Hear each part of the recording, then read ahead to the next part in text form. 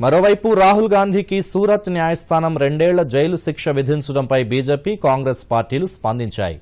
రాహుల్ వ్యాఖ్యలతో ఆయన పార్టీయే కాకుండా దేశం కూడా ఇబ్బందికర పరిస్థితులు ఎదుర్కొంటోందని బీజేపీ వ్యాఖ్యానించగా సూరత్ న్యాయస్థానం తీర్పుపై కాంగ్రెస్ వర్గాలు నిరసన వ్యక్తం చేశాయి. తీర్పును వ్యతిరేకిస్తూ కాంగ్రెస్ పక్షాలు పలుచోట్ల ఆందోళనలు నిర్వహించాయి. వివరాలు. బీజేపీ సీనియర్ నాయకుడు రవిశంకర్ ప్రసాద్ ఢిల్లీలో మీడియాతో మాట్లాడుతూ దేశ సాయుధ బలగాలను ప్రధానమంత్రిని బీజేపీని విమర్శించడం రాహుల్ గాంధీకి అలవాటుగా మారిందని అన్నారు.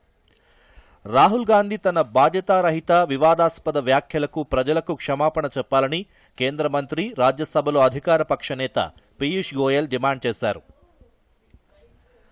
ప్రధానమంత్రి నరేంద్ర మోదీకి అన్ని వర్గాల ప్రజల నుంచి ఆదరణ ఉందనే విషయాన్ని రాహుల్ గుర్తించాలని వ్యాఖ్యానించారు. బీజేపీ సీనియర్ నాయకుడు రాజ్నాథ్ సింగ్ మాట్లాడుతూ బహిరంగంగా మాట్లాడేటప్పుడు ఎవరైనా లక్ష్మణ రేఖను దాటకూడదని పరోక్షంగా రాహుల్నుద్దేశించి అన్నారు. కత్తి కన్నా మాటలు ఎక్కువ గాయపరుస్తాయనే విషయాన్ని రాహుల్ గుర్తించాలని సూచించారు. మరోవైపు కాంగ్రెస్ నేతలు మాట్లాడుతూ రాహుల్కు జైలు శిక్ష విధించడంపై తీవ్రంగా స్పందించారు. సూరత్ న్యాయస్థానం తీర్పుపై చట్ట ప్రకారం పోరాడతామని చెప్పారు. సూరత్ న్యాయస్థానం తీర్పుపై నిరసన వ్యక్తం చేస్తూ రాష్ట్రంలో కాంగ్రెస్ నేతలు గాంధీభవన్ వద్ద మౌన దీక్ష నిర్వహించారు.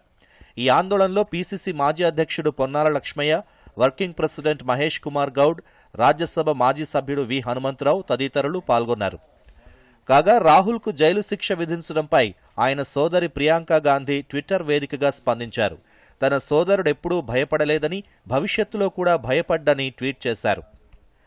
రాజస్థాన్ ముఖ్యమంత్రి అశోక్ గెహ్లాట్ స్పందిస్తూ ఎన్డీఏ ప్రభుత్వంతో కేవలం రాహుల్ గాంధీ మాత్రమే పోటీ పడగలడని స్పష్టం చేశారు. దేశంలో ప్రస్తుతం న్యాయ వ్యవస్థ ఎన్నికల సంఘం ఈడీ ఒత్తిడిలో ఉన్నాయని అశోక్ గెహ్లాట్ వ్యాఖ్యానించారు. Bureau report Doordarshan news.